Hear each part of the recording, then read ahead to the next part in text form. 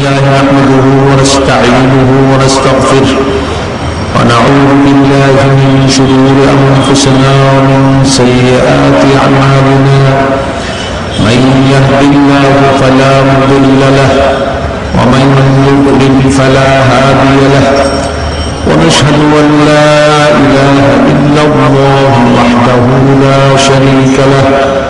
ونشهد أن سيدنا ونبينا وشفيعنا وحبيبنا وحبيب ربنا وطبيب أرواحنا وقلوبنا محمدا عبد الله ورسوله صلى الله تعالى عليه وعلى آله وأصحابه وأزواجه وأحبابه وأتباعه وبارك وسلم أما بعد فأعوذ بالله من الشيطان الرجيم.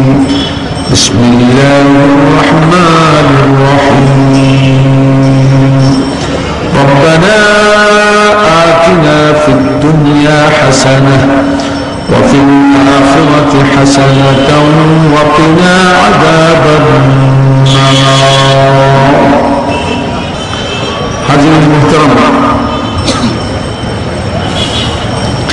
আমি আপনাদের খেদমতে আল কোরআন করিম থেকে একখানি দোয়া সম্বলিত আয়াতে করিমা তেলাওয়াত করেছি।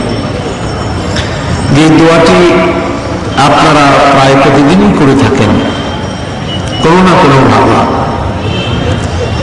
আমি কোরআন করিমের আয়াত হিসাবে তেলাওয়াত করেছি, দোয়া হিসাবে না, যদি এটি দোয়া। আমরা যে দোয়ার মধ্যে কি বলি আর আমাদের বাস্তব অবস্থা কি, এটাই আজকে আমার উদ্দেশ্য যেটা বিশ্লেষণ করব, ইনশাআল্লাহ। তৌফিকুল্লাহ তর্জমাটা আমরা করি, আয় আমাদের রব, আমাদের দেন দুনিয়াকে হাসানা। নেকি দান করেন, কল্যাণ দান করেন। আমাদেরকে নীতি ও কল্যাণ দ্বারা মালামাল করেন আর আমাদের জাহান্নামের আগুন থেকে রেহাই দেন। এই হল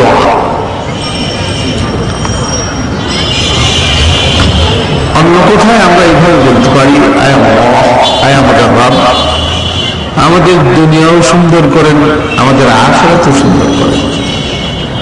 আর আমাদের জাহান্নামার আগুন থেকে রক্ষা করেন আল্লাহ পাকের কাছে আমাদের যে দোয়া,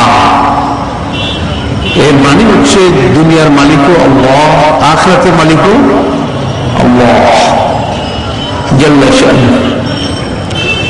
তো দুনিয়া কল্যাণ তারই কাছে, আখরাতের কল্যাণ তারই কাছে চাইতে হবে, আমরা চাই। এখন আমার প্রশ্ন হচ্ছে যে দুনিয়ার কল্যাণ যে আমরা আল্লাহ তালার কাছে চাইলাম এই পর্যন্ত, আমাদের জীবনে এই পরিসরে, ক্ষুদ্র পরিসরে আমার বয়স এখন আটান্ন বছরে পড়েছে এই আটান্ন বছরের মধ্যে কমসে কম পঞ্চাশ থেকে বান্ন বছর পর্যন্ত দোয়াটা আমি মনে করি বলতে পারি, যেটা শুনে আসছি। কিন্তু পঞ্চাশ বান্ন বছরের শেষে এসে আমরা যদি বিশ্লেষণ করি তো দুনিয়া কি আমাদের সুন্দর হয়েছে? আজ থেকে পঞ্চাশ বছর আগে দুনিয়ার অবস্থা যা ছিল আমাদের দুনিয়া। আজকে এসে তার চেয়ে কি উন্নত, সুন্দর, অনাদি, সুখ শান্তিময় দুনিয়া হয়েছে? না জঞ্জাল কর্ম প্রতিদিন আমরা ক্রমে আরও পেয়ে যাচ্ছি। কোনটা? এটা আমি জানতে চাই। এটা ঠিক। আমাদের রাস্তাঘাট হয়েছে। প্লেন ট্রেন হয়েছে। আমাদের বাড়ি গাড়ি হয়েছে। আমাদের ইউনিভার্সিটি স্কুল কলেজ হচ্ছে ব্যবসা বাণিজ্যের অনেক প্রতিষ্ঠান গড়ে উঠেছে। আকাশ চুনি ইমারাত বিল্ডিংস তৈরি হয়েছে। বিরাট ব্রিজ ওভারব্রিজ ওভারফ্লাই ফ্লাইওভার এগুলি হচ্ছে।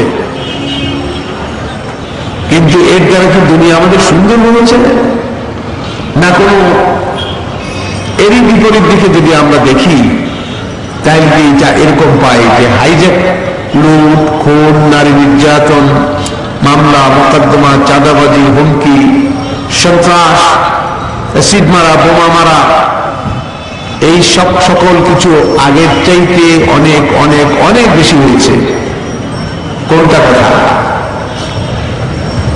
আপনারা কি আমার সঙ্গে একমত যে আমাদের দুনিয়াটা আগের চাইতে আরও বেশি অসুন্দর হয়ে গেছে? একমত। একমত না হলেও একমত হতে বাধ্য হবেন।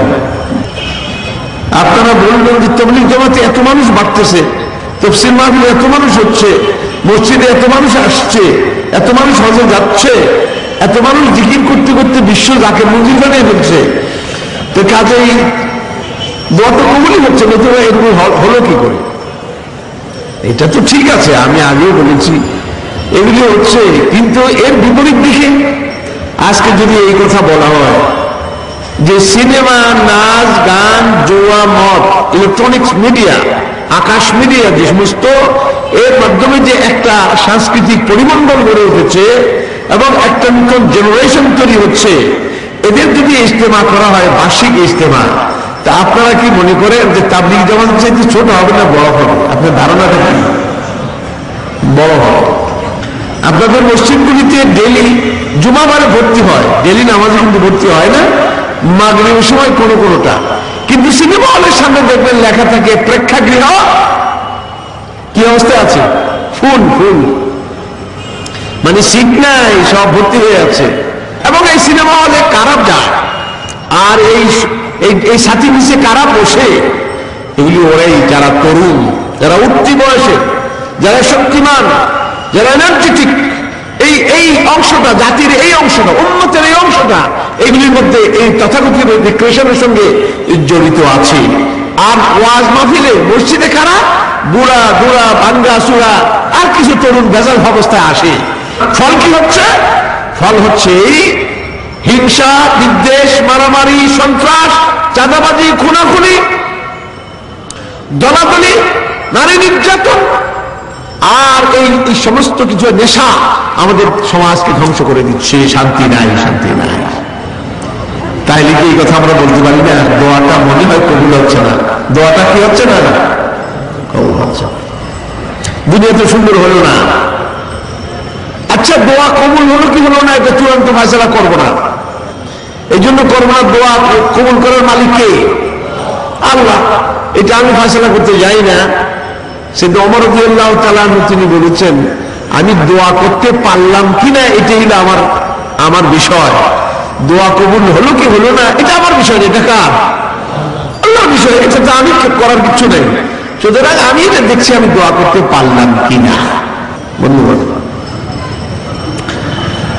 আসলে আমাদের দুনিয়াটা সুন্দর হলো না কেন? খালি দোয়ার দ্বারা সুন্দর হবে? কি বলে, দোয়ার দ্বারা সুন্দর হবে। দুনিয়া আমাদের সুন্দর হয়নি। আমি চিন্তায় করেছি একটা পয়েন্টে সেটা হচ্ছে এই দুনিয়া যখন সুন্দর হলো না, আখরাতের খবর কি? আখরাত কি সুন্দর হবে বলে আমরা দাবি করতে পারি। আমি আজকে আপনাদেরকে দাওয়াত দিচ্ছি। দুনিয়াটা যখন সুন্দর হলো না, আখেরাত কীভাবে সুন্দর হবে? আপনারা হয়তো বলবেন, হুজুর, দুনিয়া বললাই যাক, আখরাত ঠিক থাকলেই হলো। কিন্তু আখেরাত কেমনে ঠিক থাকবে? আপনি কি আখেরাতে যাওয়ার পরে আখেরাত ঠিক বানাবেন? সুন্দর বানাবেন? না দুনিয়াতে থেকে দুনিয়াও সুন্দর করতে হবে, আখেরাতও সুন্দর করতে হবে, কোনটা? আখেরাত কি মৃত্যুর পরে গিয়ে আখেরাত বানানো যাবে, না দুনিয়াতে বসে বানাতে হবে? আর দুনিয়াতে বসে যদি আখেরাত বানাতে হয়, তো দুনিয়া বানাতে হবে। দুনিয়া বাদ দিয়ে আখেরাত বানানোর কোনো সুযোগ নাই। কেন? তার কারণ হচ্ছে এই হাদিসের যে হাদিসটি আমি এখন বলব, এই হাদিসের সনদ দুর্বল, কিন্তু তার বক্তব্য একশো ভাগে একশো ভাগ ঠিক। সেটা কি? আর দুনিয়া আখরা। দুনিয়া হলো আখরাতের খামার। আখরাতের কি? খামার খ্যাত তো মানুষ উৎপাদন করে কোন জায়গায়? খেতে। ভোগ করে কোথায়? বাড়িতে। বাড়ি হলো আখরাত, আর দুনিয়া হলো ক্ষেত তো খেতে যদি ফসল ভালো হয় ক্ষেত সুন্দর হয় এবং বাড়িও সুন্দর হয়। আর যদি ক্ষেতের ফসল না হয় ক্ষেত ধ্বংস, বাড়িও ধ্বংস, আমও যায় সালাও যায়। সুতরাং রব্বানা আতেনা ফিদ দুনিয়া হাসানা ওয়াফিল আখরাতে হাসানা। খাসারা দুনিয়া ওলা আখেরা। দুনিয়াও গেল, আখরাতও গেল। কারণ আখরাতের ব্যাপারে শঙ্কিত এই জন্য দুনিয়া যখন সুন্দর হলো না, আখরাত কেমন সুন্দর হবে?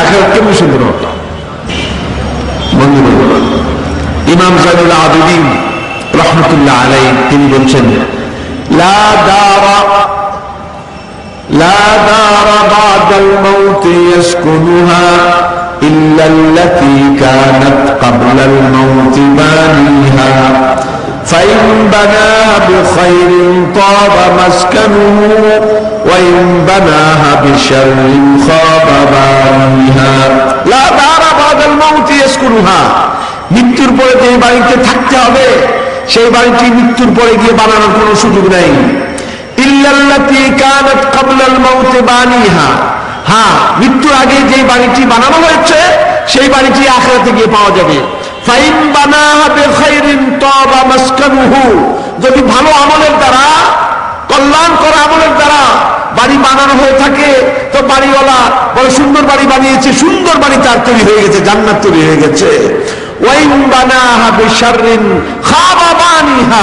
আর যদি মন্দ আমলের দ্বারা বাড়ি বানানো হয়ে থাকে। তো বাড়িওয়ালা বড় ব্যর্থ হয়ে গেছে, কারণ নামক বাড়িটি তৈরি হয়ে গেছে। বন্ধু।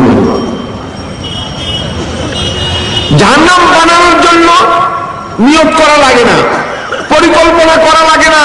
বুঝে সুঝে কাজ করা লাগে না। জান্নাত বানানোর জন্য নিয়োগ করতে হয়, পরিকল্পনা করতে হয়। তিলে তিলে ক্ষণে ক্ষণে যত্ন করে করে সেই বাড়িটি তৈরি করতে হয়, জান্নাত নামক বাড়িটি। কিন্তু জাহান্নামের জন্য নিয়ত লাগে না সিনসিয়ার হওয়া জরুরি না। আমি জাহান্নাম তৈরি করছি কি করছি না, এরকম তার তার সিনসিয়ারিটি এই ব্যাপারে না হওয়ার কোনো জরুরি না। এর এমনি জাহান্নাম তৈরি হয়ে যায়। যে আমলের দ্বারা জান্নাত হয় না, সে আমলের দ্বারা কি কি তৈরি হবে? কি তৈরি হবে? জাহান্নাম তৈরি হবে। আপনারা বলেন, এইখানে আমরা যে ইলেকট্রিসিটির প্রবাহ আমরা দেখতে পাচ্ছি, এখানে আলো দেখতে পাচ্ছি এর জন্য কি আমাদের ওয়ারিং করতে হয়েছে না? তার লাগাতে হয়েছে বাল্ব ফিট করতে হয়েছে, সংযোগ দিতে হয়েছে। কিন্তু অন্ধকারের জন্য কয়টা তার লাগাতে হয়? কয়টা বাল্ব যেই মুহূর্তে আলো নাই, সেই মুহূর্তে কি আসে? অন্ধকার আসে। আলো নাই তো অন্ধকার। অন্ধকারের জন্য পরিকল্পনা করা লাগে না। চিন্তা করতে হয় না, নিয়োগ করতে হয় না বাল্ব লাগাতে হয় না, পয়সা খরচ করতে হয় না। কিন্তু আলোর জন্য কি করতে হয়? এগুলি করতে হয়। তো আলো নাই অন্ধকার এসে যাবে। তো জান্নাত নাই, তো জাহান্নাম তৈরি হয়ে যাবে, এর মধ্যে কোনো সন্দেহ নেই। বাড়ি কিন্তু দুইটাই। বাড়ি কয়টা? দুইটা, একটা জান্নাত, একটা জাহান্নাম। জান্নাত পরিকল্পিত ভাবে তৈরি করতে হয়। আর জাহান্নামের পরিকল্পনা লাগে না। কিন্তু আফসোসের বিষয়, কিছু মানুষ পরিকল্পনা করে পয়সা খরচ করে জাহান্নাম বানায়। আমার এক নিকট আত্মীয়া, মুরব্বী, তিনি এক গল্প শুনেছেন আমাকে তার জীবন থেকে। তিনি বললেন, আমার বিবাহের পরে একদিন আমার স্বামী আমাকে বললেন, চলো যাই সিনেমায়, অফার দিল সিনেমায়। আমি বললাম, সিনেমা দেখলে এই টিকিট করতে হবে না, পয়সা দিয়ে টিকিট কিনতে হবে না। বলে হ্যাঁ আচ্ছা সিনেমা দেখলে সব হবে, জান্নাতে যাওয়া যাবে? কয়, না। তাহলে কি হবে? জান্নাতে যাওয়ার সম্ভাবনা আছে। কয়, তাহলে শুনেন তাহলে শুনেন, আমি এত বোকা না। এই পয়সা খরচ করে জাহান্নামে যেতে আমি রাজি না। জাহান্নামে যাওয়ার জন্য বিনা পয়সা খরচে কত আমল আছে, এগুলি করি জাহান্নামে দিতে যদি জাহান্নামে যাওয়ার নিয়ত হয় তাহলে পরে এই পয়সা খরচ ছাড়াই জাহান্নামে যাওয়া যায়। পয়সা খরচ করে যাবি জাহান্নামে যেতে রাজি না। এই কথা শোনার পরে উনি বলছেন যে ওনার স্বামী জীবনে আর ওনাকে অফার করেন এই যে চলে যাই। অবশ্যই উনি মক্কা শরীফ গিয়ে ইন্তেকাল করেছেন, আল্লাহ ওনাকে জান্নাত নসিব করুন। বন্ধুগণ, মানুষ অনেক বোকা। বোকা মানুষ এই যে তারা পয়সা খরচ করে কোথায় যায়? জাহান নামে যায়।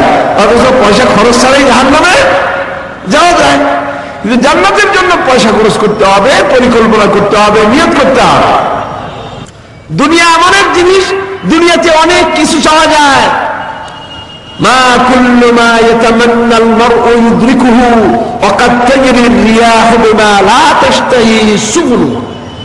বলতেছে, মানুষ কতই তো কামনা করে, কিন্তু এগুলি যে পাবে কোনো গ্যারান্টি নেই। নৌকা যখন রওনা দেয়, জাহাজ পাল তুলে দেয়, উল্টা দিক থেকে বাতাস আসতে শুরু করে দেয়, তখন অবস্থা কি হয়? এটা হলো দুনিয়া। এটা হলো দুনিয়া। দুনিয়া যা চাওয়া হয় তা পাওয়া যায় না, আর যাই বা কিছু পাওয়া যায় তাও ভোগ করা যায় না। একজন গেছে সিঙ্গাপুর, বিশ লাখ টাকার মাল খরিদ করছে। বাংলাদেশে এনে বিক্রি করার পরে এক কোটি টাকা বিক্রি করেছে। কত লাভ হলো? আশি লাখ টাকা। খুশির চোটে বাগবা এখন কয়টা প্লট কিনবে, কয়টা বাড়ি করবে, কি করবে, না পরিকল্পনা করতেছে। একদিন হঠাৎ করে পেটে ব্যথা, ডাক্তার কাছে গেছে। ডাক্তার পরীক্ষা করে বলছে, আপনার তো ক্যান্সার হয়ে গেছে। এবার আপনি বলেন, তিনি যে এই আশি লাখ টাকা লাভ করে যে খুশি হয়েছিলেন একটি মাত্র কনসাইনমেন্টে তিনি আশি লাখ টাকা লাভ করলেন, যতদূর খুশি হয়েছিলেন, একটু ক্যান্সারের খবর শোনার পরে তার যে দুঃখ হলো, দুঃখ আর খুশি যোগ বিয়োগ দিলে কোনটা বেশি, কোনটা কম? দুঃখ বেশি না? তো কাজেই যাও বা পাওয়া গেল, তাও ভোগ করা গেল না। দুই বুড়া বসে বসে কথা বলছে। একজন আরেকজনের কয়, ভাই, দুইয়ের খবর কি? কয় দুইয়ের খবর কাছে কাছে? আর দুইয়ের খবর দুইয়ের খবর? তিন। পাশে বসে তাদের কথা শুনছে। একজনের কাছে এসে হুজুর, কি কথা আপনারা কইলেন? আমাদের কিচ্ছু বুঝলাম না। দুইয়ের খবর কাছে কাছে, দুইয়ের খবর জোরে জোরে, দুইয়ের খবর তিন। কয়েক বুঝবা, আমাদের মতো যখন বয়স হবে, তখন বুঝবে যে দুইয়ের খবর তিন কেমনি হয়? এই অঙ্ক বুঝতে অসুবিধা হবে না। কয়, হুজুর, আপনাদের মতো বয়স পেয়ে যে মরবো, এই গ্যারান্টি কি আছে? আর যদি মাঝখানে মরে যাই, তখন এই জ্বালা নিয়ে কিন্তু মরবো, যে বিয়ের খবর তিন কেমনি হলো? এই জ্বালাটা নিয়েই তো মরবো। কাজেই যন্ত্রণা থেকে যদি এগুদ্দার করেন, তাহলে তাইলে বলব। বলেন দুয়ের খবর আমার জিজ্ঞেস করছি দুয়ের খবর কি? আমি বলছি, কাছে কাছে। মানে চোখ দুটো কেমন? আমি বলছি, খুব কাছে না আসলে দেখি না। তার মানে আগে দেখতাম, এখন দেখি না। আর দুয়ের খবর দুয়ের খবর জোরে জোরে, কান দুটো কেমন? জোরে জোরে কথা না করে তো শুনি না। বলে, আর দুয়ের খবর? তিন তিন কেমন দুই ঠ্যাং তো চলা যায় না লাঠি আর একটা লাগে। দুয়ের খবর কি হলো? তিন হয়ে গেল। দেখছেন কি সুন্দর মিলে গেল? এটার নাম দুনিয়া। এটার নাম কি?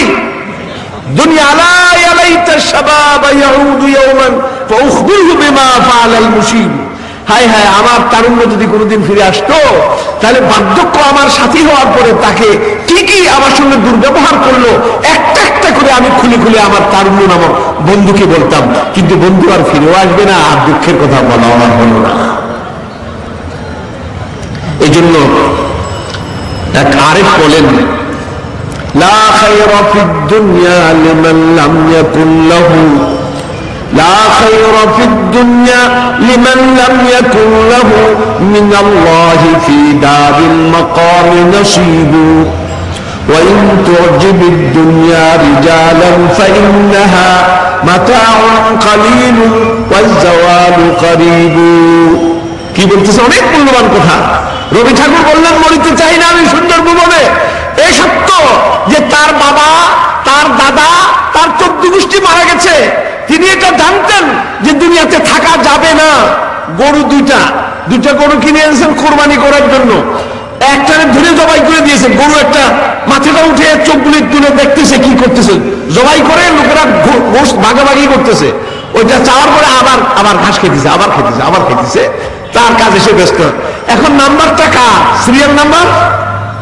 দ্বিতীয় গরুর সিরিয়াল নাম্বার তা আপনার বাবা চলে গেছে আপনার দাদা চলে গেছে আপনার বাবাও গেছে আপনার নাম্বার এখন এসে গেছে এখন আপনি বলেন মরিতে চাই না আমি সুন্দর ভবনে ধন্য আমি তোমাকে বাসিয়েছি মানে যারা দুনিয়াও চেনে আখেরাত চেনে তারা কি বলে শুনুন لا خير في الدنيا لمن لم يكن له من الله في دار المقام نصيب এই দুনিয়াতে কোনো কল্যাণ নাই এই দুনিয়াতে কোনো সুখ শান্তি নাই, কোনো কল্যাণ নাই। ওই ব্যক্তির জন্য যে ব্যক্তি মৃত্যুর পরে আল্লাহর কাছে গিয়ে কোনো অংশ সে পাবে না, জান্নাতের কোনো অংশ, কোনো ঠিকানা, কোনো পথ তার জন্য সংরক্ষিত হয়নি, তার জন্য দুনিয়াতে কোনো কল্যাণ নাই। কৃষকের হাজার বিঘা জমি থাকলে লাভ হবে কি? যদি তার জমিতে ফসল উৎপন্ন, বাড়ির জন্য যদি ফসল উৎপন্ন না হয়, তার হাজার বিঘা জমি দিয়ে কি হবে? لا خير في الدنيا لمن لم يكن له من الله في دار المقام نصيب وإن تعجب الدنيا رجالا فإنها যদিও দুনিয়াটা বাহ্যিক চাকচিক্য কিছু মানুষকে ধোকার মধ্যে ফেলে দেয় কিছু মানুষ এটা পছন্দ করে আহ কি সুন্দর দুনিয়া, বাহ বাহ, কি চমৎকার। আমার ক্ষমতা, আমার পাওয়ার আমার টাকা, আমার পয়সা, আমার সামর্থ্য, আমার যৌবন, আমার চাহিদা, আমার চাওয়া, আমার পাওয়া, আমার স্বাদ, আমার শব্দ, হায় হায়, দুনিয়া দুনিয়া দুনিয়া আমারই হ্যাঁ দুনিয়া তোমারই দুনিয়া কা মজা লিয়া আছে না কিছু তো বলে, ওয়াইন তুজিব দুনিয়া রিজালান যদিও কিছু লোককে দুনিয়া বড় কিছু লোকের কাছে দুনিয়া বড় লুক্রেটিভ দুনিয়া বড় কি? লুক্রেটিভ আকর্ষণীয়, প্রিয়। কিন্তু তাদের জানা উচিত।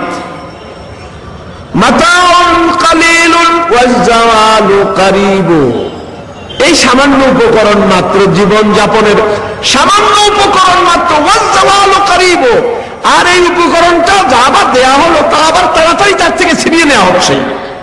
তার থেকে কি করা হচ্ছে? ছিনিয়ে নেওয়া হচ্ছে। এই চোখ, চোখের পাওয়ার কই গেল? এই কানের শক্তি কই গেল? হার্টের শক্তি কই গেল? দুই পায়ের শক্তি কই গেল?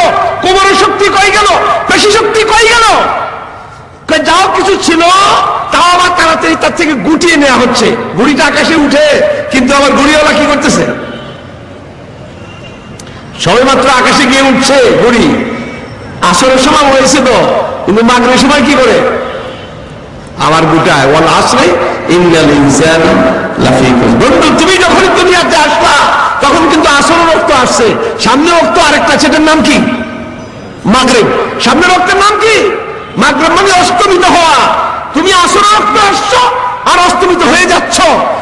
সুতরাং এইখানে তোমার জীবন। এই দুনিয়া, এই দুনিয়াতে কোনো কল্যাণ নাই, যার আখেরাতে কোনো অংশ নাই, তার মতো তার জন্য দুনিয়াতে কোনো কল্যাণ নেই। যদিও কিছু লোক এইগুলি দেখে চাকচিক্য থেকে অস্থির হয়ে যায়। নবী আকরম সাল্লাহ আলী সাল্লাম তিনি দোয়া করছেন। তিনি কি বলছেন? আল্লাহ আল্লাহ আল্লাহ আল্লাহ আল্লাহ তুমি বলছো আল্লাহ আসল হব্বাকা ও হব্বা মান ইউহিব্বুকা আয় আল্লাহ আমি আপনার মহব্বত চাই এবং যাকে যারা আপনাকে ভালোবাসে তাদের ভালোবাসা তাদের যা ভালোবাসতে পারি তৌফিক আমি চাই وإذا أقررت أعين أهل الدنيا من دنياهم فأقرر عيني من عبادتك আর যখন দুনিয়াদারের দুনিয়ার উন্নতির দ্বারা তার চক্ষুকে আপনি জুড়িয়ে দেন সেই মুহূর্তে আমাকে আমার চক্ষু জুড়িয়ে না, আপনার সেজদার দ্বারা, আপনার গুণগানের দ্বারা, আপনার সার্বভৌমত্ব, আপনার শ্রেষ্ঠত্ব, আপনার প্রভুত্ব, আপনার একত্ব, আপনার মহাত্ম প্রচার যখন করি, তখন যেন আমার চক্ষু জুড়ায়। ওদের চক্ষু জোড়ায় দুনিয়ার উন্নতি দ্বারা, আর আমার চক্ষু জোড়ায় আপনার জিকিরের দ্বারা, আপনার স্মরণের দ্বারা, আপনার সিদ্ধার দ্বারা, আপনার জন্য কর্মী হওয়ার দ্বারা। তাহলে বন্ধুগণ, ওরা দুনিয়াতে পাইছে অনেক কিছু। কি পাইছে ক- মাতাউন কালিল মাতাউন কালিল এই মাতাউন কালিল এটা জানার জন্য এটা ব্যাখ্যা করার জন্য এক একজন চেষ্টা করছেন যে মাতা মানে কি মাতার মাতার মধ্যে আল্লাহ কি বলছেন কোরআনী কারিমে জায়গায় জায়গায় দুনিয়াটাকে কি বলা হয়েছে মাতা لا يغرنك تقلب الذين كفروا في البلاد متاع قليل ثم مأواهم جهنم وبئس المهاد الله الله الله হুজুরকে বলছেন, দুনিয়ার দুনিয়াদারদের, দুনিয়ার কাফেরদের? চাকচিক্যময় জীবন দেখে আপনার চক্ষু যেন ধারিয়ে না যায়। আপনি যেন ধোকার মধ্যে না পড়েন, মাতাউন কালি এটা সামান্য উপকরণ মাত্র। এরপরে তাকে তার জন্য অপেক্ষা করছে জাহান্নাম। অবেসাল মিহাদ, জাহান্নাম প্রস্তুত হয়ে আছে সে জাহান্নাম এখন এই মাতা বুঝার জন্য একজন বেরিয়েছে। নিজের বাড়ি থেকে সফর করতে মাতা বুঝে, মাতা। মাতা মানে কি? উনি সফর করতে করতে গিয়ে এক বেদুইনের টেন্টের মধ্যে ঢুকছেন, মরুভূমিতে। বেদুইনের তাবু তাবু থেকে ঢুকছেন। ওইখানে তিনি মেহমান দুদিন তার মেহমানদারি করছে হঠাৎ করে ওনার কানে একটা আওয়াজ আসলো। কি? বাইরে থেকে একটা ছোট্ট বাচ্চা যে ধুলাবালি নিয়ে খেলা করছিল, এই বাচ্চা বলতেছে আবুই আবুই হাজা মাতা আবুই হাজা আবুয়া আরবরা ল্যাঙ্গুয়েজে আমার আব্বা এটা বলে, আবুয়া, আব্বু আব্বু, হাজা মাতা আইতে একটা মাথা পাইছি মাথা ওই লোক আমি যে মাথার তালাশে আছি বাচ্চাকেও মাথা পেয়েছে। দেখি মাথাটা কি? বাইরে দেখে দিয়ে বাচ্চার হাতের মধ্যে জুতার জুতার যে তলা আছে, এই তলার যে পায়ের গোড়ালির নিচে যে অংশটা থাকে, একটা টুকরা চামড়ার টুকরা, আগে লোকেরা এখন তো টেস্টিং করে। আগে কি করতো? প্যারাগ মেরে মেরে এটাকে লাগিয়ে দিত। এই প্যারাগ তার তার কিনা কয়, পদচারণায় প্যারাগের ছাতিগুলি, মাথাগুলি ক্ষয়ে গেছে। ক্ষয়ে যাওয়ার কারণে এখন কি হয়েছে? টুকরোটা ছুটে পড়ে গেছে। এই টুকরোটা যেহেতু চারুপাশে ছোট ছোট ছিদ্র করা, ইউনিফর্ম অবস্থায়। এটা আকর্ষণীয় বাচ্চার কাছে, তার কাছে খুব দেখতে সুন্দর লাগছে। সেই জন্য আবু হাজা মাথা আব্বা, আমি একটা জিনিস পাইছি, বড় সুন্দর জিনিস পাইছি। গিয়ে দেখা গেল, জুতার পায়ের তলার একটা টুকরা, চামড়ার পশা টুকরা, যা ক্ষয়ে গেছে, ছুটে পরিত্যক্ত অবস্থায় অবস্থায় আছে ওই কইতেও পারে না, বলতেও পারে না কখন ছুটে পড়ে গেছে। বাচ্চা এটাকে নিয়ে আনন্দ করছে, সে বলতে হাজার হাজা মাথা আব্বা এটা একটা জিনিস পাইছে। তিনি তিনি বললেন, আল্লাহ আমাকে শিখাইলেন, মাতার মানে হলো এই যে পায়ের তলার জিনিস, তাও পরিত্যক্ত অবস্থায় কোন সময় চলে যাচ্ছে তারও খবর নাই। এমন একটা জিনিস হলো দুনিয়া। এটা ওই হাদিসেরই ব্যাখ্যা, যেখানে আল্লাহ তাআলা বলছেন, যেখানে বলা হচ্ছে যে এই দুনিয়া, দুনিয়ার মাঝে যা কিছু আছে, সব কিছুর মূল্য যদি আল্লাহ তাআলার কাছে, একটা মশার দানা পরিমাণ যদি মূল্য হতো, তাহলে আল্লাহ পাক একটা নাফরমানকে, একটা কাফেরকে এক গোট পানি পান করা- করতে আল্লাহ দিতেন না। আমার এখন প্রশ্ন হচ্ছে এই যে দুনিয়া, আমাদের দুনিয়াটা সুন্দর হলো না। এই দুনিয়া সুন্দর হলো না কারণটা কি? কেন দুনিয়া সুন্দর হলো না? হ্যাঁ ও কথা আমার একটু বলতে হবে। দুনিয়া সুন্দর হতে পারে। দুনিয়া সুন্দর হতে পারে। দুনিয়া এই জন্য সুন্দর যে আখেরাতে যে জান্নাত, সুন্দর জান্নাত পেতে হবে। এই জান্নাত কি আখেরাতে গিয়ে বানাবো না দুনিয়াতে বানাবো? না সুতরাং দুনিয়াতে যদি বসে আমি জান্নাত বানাতে পারি, তো দুনিয়াটা কি হবে? সুন্দর হয়ে যাবে। দুনিয়া সুন্দর। যারা দুনিয়াতে বসে আখরাত বানায়, তাদের দুনিয়া কি হয়? সুন্দর হয়। আর যারা আখরাত বানাতে পারে না, তাদের দুনিয়া সুন্দর হয় না। এ বেটা দুনিয়াও পায় আর আখেরাতও পায়। আর যে বেটায় যে বেটায় আখরাত পায় না, আখরাত তো পাই না, দুনিয়াও সে পায় না। দুনিয়াও সে পায় না। নবী আকরম সাল্লাহ আলী সাল্লাম তিনি বললেন যে একজন মোমেন যদি হালাল কামাই করে, এক লোকমা সে খায়, তার আমল নামায় কমসে কম দশ লোকমা আল্লাহ রাস্তায় খরচ করার লেখা হয়ে যায়। সে খেলেও নিজে, আবার আখেরাতে কয় লোকমা, কমসে কম দশ দিন সব পাবে। তোমরা অবাক কিছু মুসা আল ইসলামের আম্মা ফেরামের বাড়িতে একটা চাকরি করেছিলেন। চাকরিটা কি ছিল? চাকরি কি ছিল? নিজের শিশু সন্তানকে কি করতেন? দুধ খাওয়াতেন। তিনি কি বেতন পাইতেন না? তো কি বেতন পাইতেন? রয়্যাল স্কেলে থাকাটা রয়্যাল প্যালেসে। আর মুরগির রান অথবা চিংড়ি মাছ যদি খেতেন, তো কেমন খেতেন? কিং সাইজের কিং এর। বাড়ি যেত মুরগির রানও কিং সাইজ বেতন রয়্যাল স্কেলে আর থাকা রয়্যাল প্যালেসে। কিন্তু চাকরিটা কি?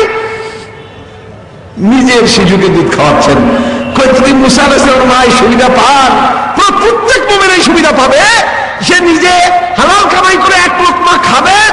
দুনিয়াতে এক লোকমা পেল আখড়া থেকে দশ দশ লোকমা তার জন্য সংরক্ষিত থাকল সুমান উল্টারও বেতন পাইল। নিজেই খেলো, আবার বেতন। নিজের ছেলেরা দুধ খাওয়াইলো, বেতনও পাইল। তো নিজেও খেলো, আবার দশ লোকমান বেতন পেয়ে গেল। সুমান আল্লাহ আখড়াতে কাজেই যারা আখরাতকে টার্গেট করে দুনিয়াতে আমল করে আখরাতের টানে দুনিয়া তার সুন্দর হয়ে যায়। কিসের টানে? আখরাতের টানে। আপনারা গরমের সময় কোরবানির মৌসুম যদি হয়, গরু হাটে গেলে কেমন লাগে তখন? গরু কিনতে গিয়ে অবস্থা কেমন লাগে? একজনের তিনটা গরু নিয়ে বসে আছে। একটা গরুর দাম পাঁচ হাজার, একটা দাম সাত হাজার আর একটা দাম দশ হাজার। তিন গরু বিক্রি করবে। কিন্তু চিন্তা করে গরু একটা, একটাও তো না বেচতে পারি। তখন আমি কি করি? আমার সংসার চালাবো কি করে? তো কতগুলি তরমুজ? একটার দাম বিশ টাকা, পঞ্চাশ টাকা দিয়ে কতগুলি তরমুজ আমার কাছে দিয়ে রাখছে। কি নিতে যে গরু কিনতে পারুক আর না পারুক, তরমুজ তো কিনবই। কারণ পিনাশায় কাতর হবে, তরমুজ খাবে। আর গরু যদি নাই বেচতে পারি, তো তরমুজ বিক্রির দ্বারা যে পয়সা হবে আজকের মতো খরচ পশিয়ে যাবে। এটা হলো সাইড সুবিধা। By production. এখন কি করছে? তরমুজ রাখছে, মানুষের তরমুজ খাচ্ছে, বিক্রি হচ্ছে, গরু বিক্রি হচ্ছে। হঠাৎ করে একজন এসে দশ হাজার টাকার গরু একটা কিনে ফেলেছে। এই করেছি তরমুজ একটা কেটে তাকে অফার দিয়েছে, ভাই, তরমুজটা খান তো। সে তরমুজ খেয়ে ফেলছে। এখন পয়সা দেওয়ার সময় গরুর দাম তো দশ হাজার, তরমুজের দাম কত? তরমুজের দাম দিতে হবে না। তো কেন প্রত্যেকের কাছে তো আপনি বিক্রি করলেন? পয়সা নিলেন, আমার থেকে নিবেন না কেন? ভাই, দেখেন, কেউ যদি দুই হাজার টাকা দামের একটা শাড়ি কাপড় কিনে দোকানে, একটা সেভেন আমের বোতল পায়, আর আপনি দশ হাজার টাকা দামের একটা গরু কিনলেন, একটা তরমুজ আপনারা খাওয়াবো না? এটা কোনো কথা। আসল কথা হলো, এই বেটায় গরু গরুওয়ালা থেকে গরু কেনার কারণে তরমুজটা ফ্রি পাইছে। কারণ তরমুজের মালিকও সে, গরুর মালিকও সে। একজন হওয়ার কারণে যে গরু ধরে তরমুজটা ফ্রি পেয়ে যায়। দুনিয়ার মালিক আল্লাহ আখাতের মালিক আল্লাহ। যারা আখাতকে টার্গেট করে দুনিয়াটা ফ্রি দিয়ে দেন আল্লাহ সুবহানাহু যাও। এইভাবে আখাতের টানে আখাতকে যে টার্গেট করে আখাতের টানে তার দুনিয়ার জীবন সুন্দর হতে বাধ্য। তার আমল সুন্দর হতে বাধ্য। আর আমল যখন সুন্দর হয়, দুনিয়া সুন্দর হতে বাধ্য। আর আমল সুন্দর ছাড়া তো আখেরাতে ঘর বানানো যাবে না। আর আমল তো আখেরাতে গিয়ে করবে না। করবে কোন জায়গায়? দুনিয়াতে। আর দুনিয়াতে বসে যখন মানুষ ভালো আমল করতে শুরু করে দিবে, তখন দুনিয়া হাসানা ভর্তি হয়ে যাবে। সুন্দর কল্যাণ দুনিয়া হয়ে যাবে। কিন্তু টার্গেট হলো আখেরাত। এটা হলো ফিলোসফি এই হলো আমাদের জীবন দর্শন। আখেরাতকে বাদ দিয়ে যারা আজকে রাজনীতি করছেন, দেশকে ভালো করার চেষ্টা করছেন, তারা কোনোদিন পারবেন না। কারণ এটা উল্টা নীতি হইতেছে। নীতিটা কি?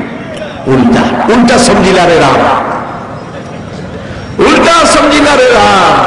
বাদ দিয়া হাজরতে আবু বকর রাদিয়াল্লাহু তাআলা আনহু ক্ষমতায় মদিনা অঞ্চলে বিচারপতি বানাইলেন কাকে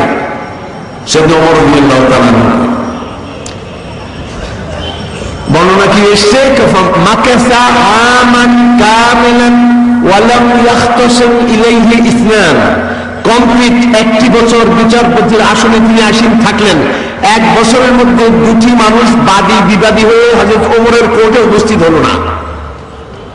এক বছরের মধ্যে একটা কোর্টে একটা বিচার দায়ের হচ্ছে না। দেখলেন বসে বসে এই বেতন খাওয়া ছাড়াতে কোনো কাজ নেই। কেমন বিচারপতি হইলাম লোকেরা আমার পোষেই না, একটা রায় দেওয়ার সুযোগ পাইলাম না, একটা মোকাদ্দমার ফায়সালা শুনানি হলো না। যে কেমন বিচারপতি? শেষ পর্যন্ত তিনি অবকর দিয়ে আল্লাহ দরবারে গিয়ে উপস্থিত হলেন আর বললেন, কি বললেন? তা তার ভাষায় শুনুন। এর বুঝুন দুনিয়া কেম সুন্দর কেমনি হয়? তো তিনি বললেন, মা ইয়া ও আল্লাহ রাসূলের খলিফা, আমার মতো কোনো বিচারপতি প্রয়োজন মুসলমানদের দেশে আছে বলে আমি মনে করছি না। অবকর রাদিয়াল্লাহু তাআলা বললেন, কাইফা যালিক? এটা কীভাবে তিনি বললেন দিন হুমুন নসিহা। আমি দেখলাম, এই জাতির সকলের দিনের নাম হলো নসিহত। মানে আর দিন দিনু করা। না। আচ্ছা এক নম্বর। দুই নম্বর আর তাদের সংবিধানের নাম হলো কোরআন। আল কোরআন করিমের পবিত্র ছায়ায় তারা জীবন যাপন করছে।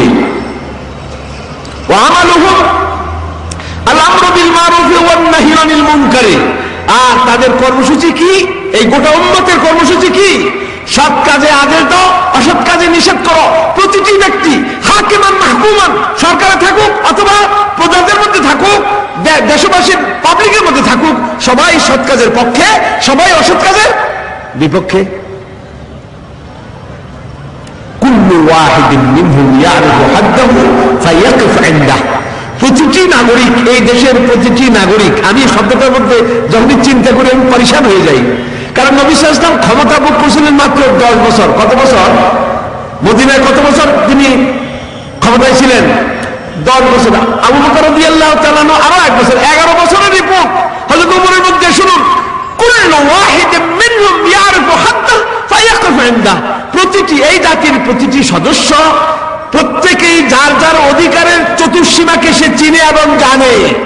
প্রতিটি নাগরিক তার অধিকারের চতুর্সীমা জানে। সে অধিকার ভোগ করতে করতে যখনই ডাইনে, বামে, সামনে, পিছনে তার বর্ডারে পৌঁছে যায়, ওইখানে গিয়ে দাঁড়িয়ে যায়। বর্ডার ক্রস করে আরেকজনের অধিকারের মধ্যে ঢুকে পড়ে না। লক্ষ্য করেন? লক্ষ্য করেন? আপনার এক খন্ড জমি আছে, চারদিকে চারটা আইল আছে। আপনি যদি গরু রাখবেন, আইলে চারটা আইলের ভিতরে। ধান চাষ করবেন, এটার ভিতরে। ঘর করবেন, এটার ভিতরে। কূপ খনন করবেন, পুকুর বানাবেন, এটার ভিতরে। হলে তোমার বলেন, এর প্রত্যেকেই যার যার সীমার মধ্যে করে। আর অধিকার ভোগ করতে করতে মানে জমি চাষ করতে করতে, যেই না এই আইনের কাছে পৌঁছে যায়, অথবা এই আইন অথবা এই আইন অথবা ওই আইন ওই বর্ডারে যাওয়ার সাথে সাথে আর ওদিকে লাঙ্গল কোনাকুনি আর ধরে না। সেখানে দাঁড়িয়ে আবার সেন্টারের দিকে ফিরে আসে। এরপরে কি হলো? একজন যদি ফকির হয়, তিনজনের, একজনের তিন পকেট খালি, দশজন ত্রিশটা পকেট নিয়ে দৌড়ে আসে, বলে যে আপনার কি লাগবে বলেন। তো দশের লাঠি একের বোঝা হয়ে যায়। একজনের প্রয়োজন হয়েছে একটা গাড়ি, অথবা একটা যানবাহনে রুগী নিয়ে যেতে হবে হসপিটালে দশজনের দশটা যানবাহন গাড়ি নিয়ে উপস্থিত, অথবা দশটা কিনা কয় ঘোড়া, অথবা উঠতে উপস্থিত ও বলে আমার গাড়িতে উঠেন, সে বলে আমার গাড়িতে, আমার উঠেন, পিঠে উঠেন। ওয়াইদা মারেদা আদু। একজন যদি অসুস্থ হয় দশজন আসে, কেউ ট্যাবলেট, কেউ ক্যাপসুল, কেউ কমলা লেবু, কেউ ডাক্তার, কেউ কম্পাউন্ডার দশজন দশটা নিয়ে দৌড়ে আসে, ভাই, আপনার কি লাগবে বলেন?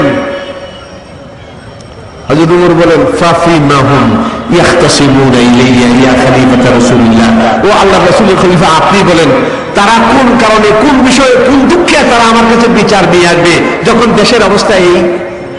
সুবহানাল্লাহ আপনারা? আপনারা কেমন দেখলেন? দেশটা সুন্দর না অসুন্দর? দুনিয়া সুন্দর হয়েছে? সবাই কেরামের মুখে আসছে, রব্বানা আতিনা ফিদ দুনিয়া হাসানা অফিল আখেরাতে হাসানা। আল্লাহ দুনিয়া সুন্দর করেন। তো দুনিয়া তাদের সুন্দর হয়েছিল আখেরাতে তাদের সুন্দর। আখেরাতে তাদের কি? সুন্দর। আমাদের দুনিয়া কি সুন্দর হলো? নেই, হয়েছে। হজরত উমরের পরে আরেক উমর ক্ষমতায় আসছিলেন, তার নাম কি? ইবনে আব্দুল আজিজ রহমতুল্লাহ আলাই সুবহানাল্লাহ সুবহানাল্লাহ সুবহানাল্লাহ।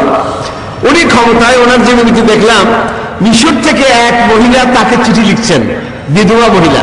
কি চিঠি লিখছেন? যে, আমিরুল মুমিনিন, আমার বাড়ির দেয়ালটা, চতুর্সীমার দেয়াল যেটা, একটু নিচু।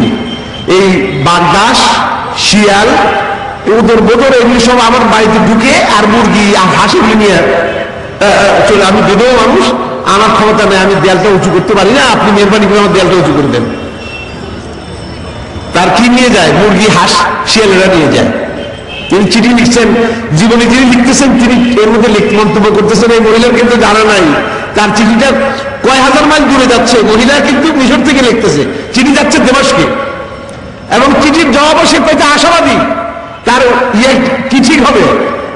ওয়ালটা ঠিক হবে। হজরতে ওমর ইবনে আব্দুল আজিজ চিঠি পেলেন, সঙ্গে সঙ্গে চিঠি লিখলেন দুইটা। একটা লিখলেন তার গভর্নর না ওই জাকাত যিনি ওসুল করেন, কালেক্টর, তার কাছে লিখলেন আর একটা মহিলাকে লিখলেন। মহিলাকে লিখলেন আপনার চিঠি পেলাম আমার আপনার এলাকায় যিনি জাকাত কালেক্ট করেন, তার নাম এই, তার সঙ্গে আপনি যোগাযোগ করেন, তাকে আমি অর্ডার দিয়েছি, একই সাথে, একই সঙ্গে অর্ডার দিয়েছি যে আপনার ওয়ালটা উঁচু করে দেওয়া হবে। এটা সিদ্ধান্ত দিয়ে দিয়েছি। মহিলা তার কাছে আর যেতে হয় নাই, তার আগেই ওই জাকাত কালেক্টর তার বাড়িতে উপস্থিত মিস্ত্রি নিয়ে তার ওয়ালটা উঁচু করে দিয়েছে শিয়াল থেকে তার মুরগি এবং হাতগুলি রক্ষা করার জন্য। আর আজকে আমাদের দুনিয়া, আমাদের সামনে থেকে আমাদের মেয়েদেরকে, আমাদের মাদেরকে, আমাদের বোনদেরকে উঠে নিয়ে সামনে দর্শন করা হচ্ছে।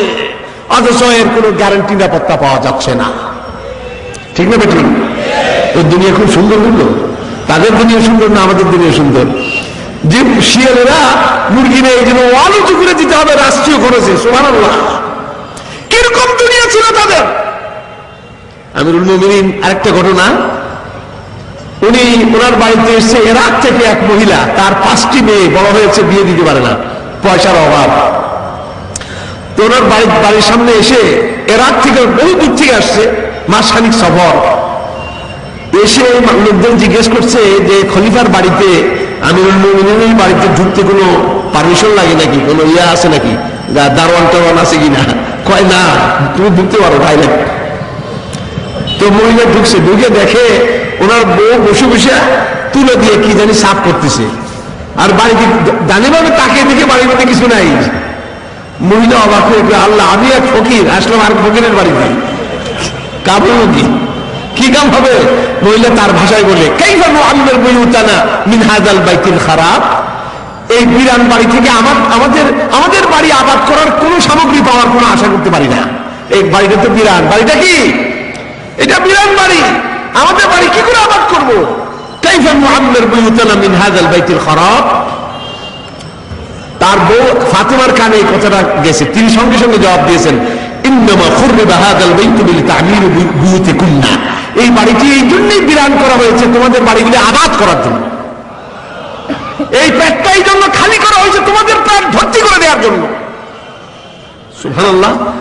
এমন সময় ওমর আব্দুল ঘরে ঢুকলেন, ঢুকে তার স্ত্রীকে জিজ্ঞেস করলেন, মানিল মারা মহিলা কে?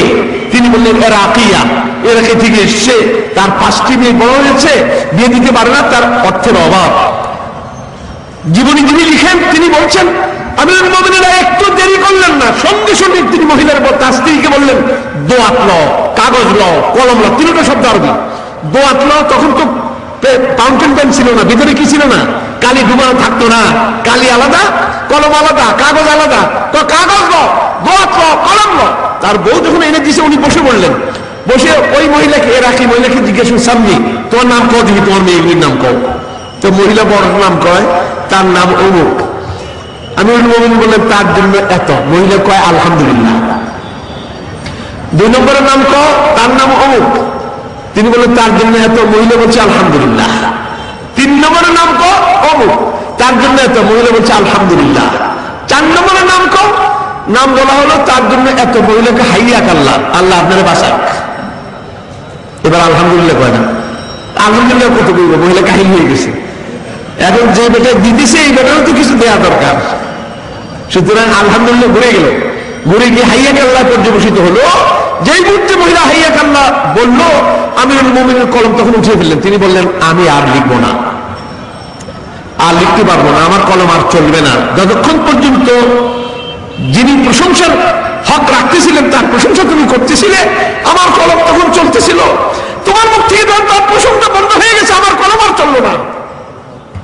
কারণ তুমি আমার দোয়া করছ, হাইয়া কাল্লা বলছো। আসলে এটা দোয়া না, তুমি আমার প্রশংসা করছ, তার প্রশংসা তুমি আমার করছ। আমার দোয়া করছ কেন? মানে তুমি কায়দা করে দোয়া করছ, আমার প্রশংসা করছ। আল্লাহ আমারও রক্ষা করো কেন? তো তোমার হক, আল্লাহ আমানত আমার কাজে রেখেছেন। আমানত আমি আদায় করতেছি, তুমি আলহামদুলিল্লাহ বলতেছে, ঠিকই বলতেছিলে। তুমি এখন আবার হাইয়া কাল্লা বললে কেন? এই জন্য পঞ্চমটার জন্য আমি আর দিতে পারলাম না। তবে এটাও ঠিক, পঞ্চমটা মাহরুম হবে না। চারটাকে বলো, পঞ্চমটাকে শেয়ার করার জন্য আমি আর দিতে পারলাম না। আপনি চিন্তা করেন চিন্তা করেন, এখলাস কারে কয়, নেতৃত্ব কারে কয়, যে আলহামদুলিল্লাহ বাদ দিয়ে ওনারা খালি কোন যে আল্লাহ আপনারা বাঁচান এই কথাটা তার পছন্দ হলো না। আর আমরা ইলেকশনে দাঁড়াইলে পরে, হাই হাই, গরিবের দৌড় দিয়ে অমুকের জন্য, তমুকের জন্য অমুক ওর জন্য, তার আমিরুল মুমিনকে হাইয়া গেল, বরদাস্ত করলেন না। দুনিয়া সুন্দর হবে না কেন? দুনিয়া কেন সুন্দর হবে না? তাদের টার্গেট হলো কে? আল্লাহ ওয়া তার সন্তুষ্টি তিনি কেমন রাজি হবেন? আমি রাজনীতি করি, আল্লাহর সন্তুষ্টির জন্য। এই বেচায় কাজ করে আল্লাহর সন্তুষ্টির জন্য প্রত্যেকটা মানুষ কার সন্তুষ্টি অর্জনের চেষ্টা করতেছে? সুতরাং দুনিয়া সুন্দর হতে বাধ্য। দুনিয়া সুন্দর হবে না কেন বন্ধু এখন আসুন দেখি, আমাদের দুনিয়াটা কি করে বরবাদ হলো। আমি দু একটি বিষয়ে আলোচনা করলে আমরা পরিষ্কার হয়ে যাবে এক নম্বরে আমি রাজনীতির কথা বলব। কি নীতি? রাজনীতি, যারা রাজনীতি করেন কর্মীরা নেতারা শুনুন আল কোরআন করিমের মধ্যে রাজনীতির মূল সবকটা কি দেওয়া হয়েছে প্রথম সবকটা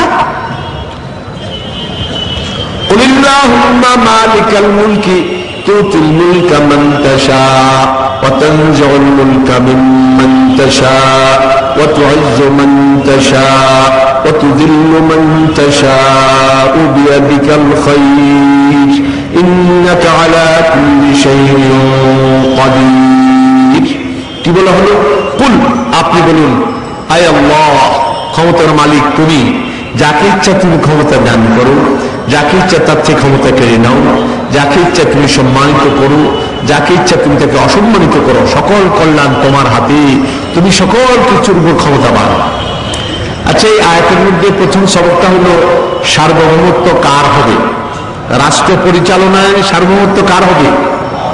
এখানে কি ক্ষমতার মালিক কাকে বলা হয়েছে? আল্লাহ। আমার দেশে আমরা যারা রাজনীতি করি, আমরা মনে করেন জামাত ইসলামী করি, মনে করেন আওয়ামী লীগ করি, মনে করেন বিএনপি করি, কত দলই তো আমরা করি, আমরা সবাই মুসলমান, সবাই কোরআনকে বিশ্বাস করি, আল্লাহকে মানি, নামাজও পড়ি। নামাজের মধ্যে কোরআন যখন তেলাওয়াত করি, তখন এইটা আমি পড়ি, ক্ষমতার মালিক কে? আল্লাহ। কিন্তু আমি যখন আবার রাজনীতি করতে যাই, তখন বলি, আমি বিশ্বাস করি, আমার দল বিশ্বাস করে, আমার নেতা বিশ্বাস করেন, কি বিশ্বাস করেন? ক্ষমতার মালিক এই দেশের জনগণ। কোনটা ঠিক? কোরআনে বলা হলো, ক্ষমতার মালিক আল্লাহ। আর আপনি বললেন, ক্ষমতার মালিক এই দেশের জনগণ। তো কোনটা ঠিক? কথা বলেন, কোনটা ঠিক? আল্লাহটা ঠিক। তো চলছে কোনটা? ঠিকটা চলছে না ব্যাঠিকটা চলছে? হ্যাঁ?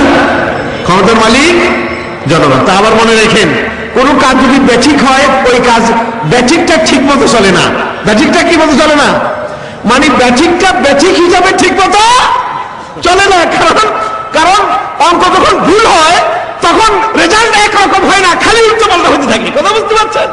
কাজে কোনো কাজ যদি ব্যাঠিক হয় ব্যাঠিক জিনিস নিয়মিত ব্যাঠিক হতে পারে না। ওটা কি হতে থাকে ব্যাঠিকের আর ঠিকানা থাকে না। ইন্দালিল্লাহি ওয়া ইন্না ইলাইহি রাজিউন তাহলে এটা কেমনে হলো ক্ষমতার মালিক জনগণ, কথাটা ব্যাঠিক। কথাটা কি? ব্যাঠিক। আচ্ছা বলেন, ক্ষমতার মালিক কি আসলে জনগণ? জনগণ ক্ষমতার মালিক?